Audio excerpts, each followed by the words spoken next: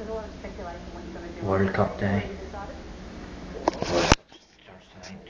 Um, gonna watch it in Hobart, in Devonport now. Got a bit of work to do to preview. For the Aussie team. Soccer they call it. Gosh, the game is football. You don't really need socks to play it. Football. Might not be revealing too many of his moves before the Germany clash, but his players can match it with the three-time world champions. The Germans uh, in the press this week haven't given you much of a chance. Do you listen to any of that? They've been a bit arrogant. No, no, no, no, no. Arrogant or confidence, eh? you know, that's what we say in the Netherlands. People think we are arrogant, but we are just confident. No, if you compare their players with our players individually, then I can understand they think, hmm, not bad, we can, we can win this game. So let them, let them think like that. We prefer to be the underdog. yeah, exactly.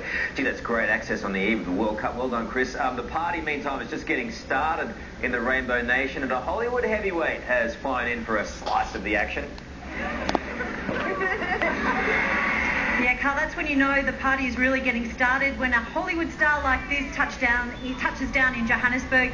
John Travolta, of course, flew his own private Qantas jet into uh, Joburg. He is, of course, the Qantas ambassador, and that is why he is here, of course, to uh, support the Socceroos. He'll stay here for five days. He's actually going to uh, visit Yeah.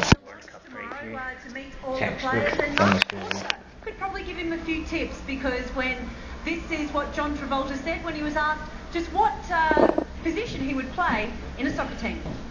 Goalie would be interesting, but, but maybe a maybe a forward. I think maybe midfield. Then I'm not not too much pressure.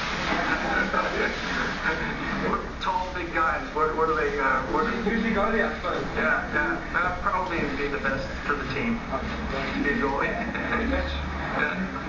Ah. John Travolta joined.